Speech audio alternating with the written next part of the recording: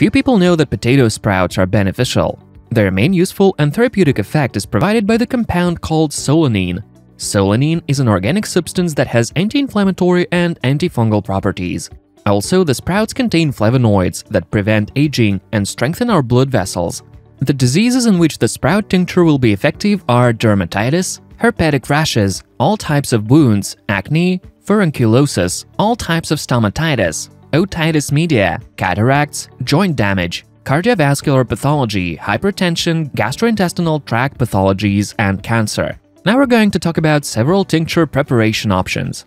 First, you need to pick sprouts from potatoes, rinse and dry well. Then put the sprouts into a meat grinder and squeeze their juice. Next, mix the juice of the sprouts with medical alcohol or vodka in a ratio of 1 to 2. The tincture is ready. It's applied strictly outwardly.